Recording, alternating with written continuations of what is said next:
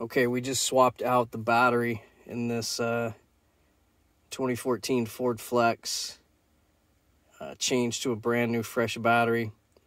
We're going to show you on the Xtool D7. Uh, we come into special function and we're going to come into BMS reset. BMS. We are looking for we go, Ford. Sorry, went by it the first time. And the Ford Flex. Once the ignition on, our key is on. Successful operation. So the BMS is reset right there that quick.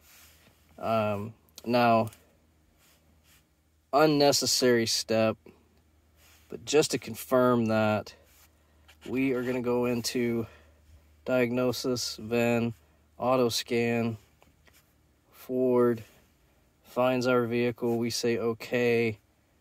We're going to go into system selection, body control module, uh, live data. And, uh,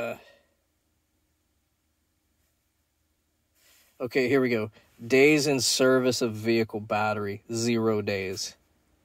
So that that confirms the the reset worked. That's an unnecessary step. You you can trust that bms reset on the d7 every time.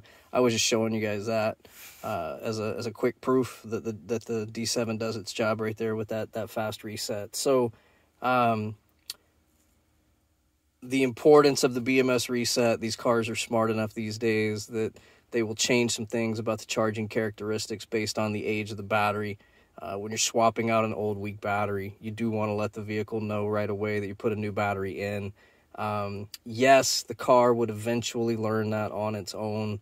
Uh, I like to go ahead and just do a BMS reset right away. A lot of retailers putting in a battery will charge you 10 or 15 bucks for that.